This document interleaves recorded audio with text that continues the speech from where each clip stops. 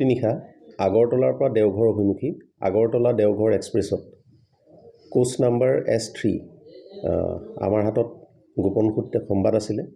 এই সংবাদ মৰ্মে আমাৰ হোজাই এছ পি অফিচৰ যিসকল কৰ্মী তেওঁলোক আৰু স্থানীয় লামডিং থানাৰ আৰক্ষীসহ এটা অভিযান চলোৱা হয় আৰু উক্ত অভিযানত ঊনত্ৰিছ কেজি সন্দেহজনক গাঞ্জা উক্ত ট্ৰেইনখনৰ পৰা আমি জব্দ কৰিবলৈ সক্ষম হওঁ।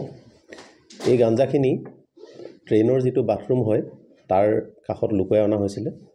ভিতৰত আৰু সেইখিনি আমাৰ গোপন সূত্ৰৰ সংবাদ মৰ্মে আমি উদ্ধাৰ কৰোঁ। আৰু আমি এটা গোচৰ ৰুজু কৰিছোঁ আৰু তদন্ত অব্যাহত আছে। বজাৰ মূল্য আনুমানিক তিনি লাখ টকা হ'ব।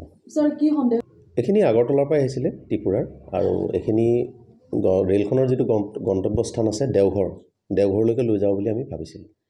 হয় ৰে'লত সুৰক্ষাৰ বাবে ৰেলৱে প্ৰটেকশ্যন ফ'ৰ্চো আছে আৰু আমাৰ আৰক্ষী বিভাগেও অত্যন্ত সতৰ্কতাৰে সকলো সময়তে ৰে'লত সতৰ্ক নজৰ ৰাখিছে। তাৰ মাজতো যিহেতু ৰে'ল এখনত অলপমান সুবিধাজনক হয় বস্তুবিলাক সৰবৰাহ কৰাৰ ক্ষেত্ৰত। মাজে মাজে সৰবৰাহ হয় কিন্তু আমি আশা ৰাখিছোঁ যে অতি সোনকালে এই সৰবৰাহ বন্ধ হ'ব। কৰ্মচাৰীসকলৰ ক্ষেত্ৰত আমি এটাই ক'ম যদি তেওঁলোকে কোনো ধৰণৰ সন্দেহজনক ব্যক্তি বা তেনেকুৱা ধৰণৰ তেওঁলোকৰ আচৰণ দেখা পায় তেনেহ'লে সেই ট্ৰেইনত থকা জি আৰ পিয়ে হওক বা আৰ পি এফে হওক তেওঁলোকক অতি সোনকালে অৱগত কৰি বিহিত ব্যৱস্থা লোৱাৰ ব্যৱস্থা কৰিব লাগে। এই সংক্ৰান্ততে কাকো আৰক্ষী কৰিব